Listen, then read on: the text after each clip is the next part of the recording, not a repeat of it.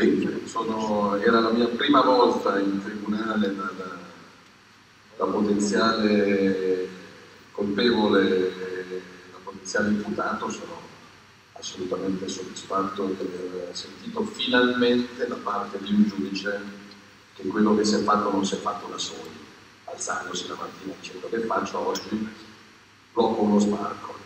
Era parte di una procedura giusta, corretta, che risponde a tutta la normativa italiana, internazionale.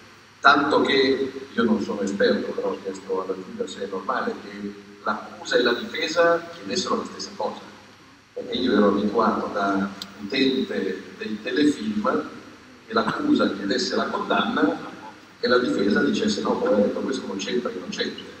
La prima volta che mi, mi capitai di sentire in tribunale che l'accusa diceva questo è innocente. Cioè siamo qua ma non dovremmo essere qua. E io ho detto ma non è imbarazzante per la difesa dover dire ha ragione l'accusa.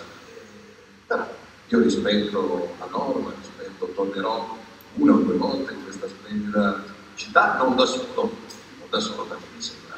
Io ritengo che a differenza di altri non cambio faccia e non cambio giudizio se sono al governo o se sono all'opposizione.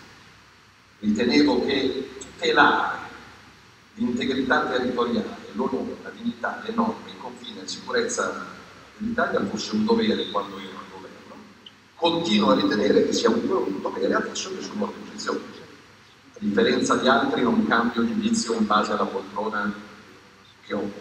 Mi soddisfa che il giudice non solo, e lo ringrazio, abbia accolto la nostra richiesta quantomeno di interpellare l'attuale ministro dell'interno per chiedergli ma nell'anno successivo avete fatto la stessa cosa? Ci sono almeno dieci articoli di giornali, dieci interviste in cui giustamente pur essendo cambiato il governo, l'iter è esattamente lo stesso, anzi non per quattro giorni, ma ci sono alcuni casi di permanenza in mare per 11 giorni, in attesa dell'avvenuto ricollocamento. Quindi io, pure all'opposizione, dico hanno fatto bene,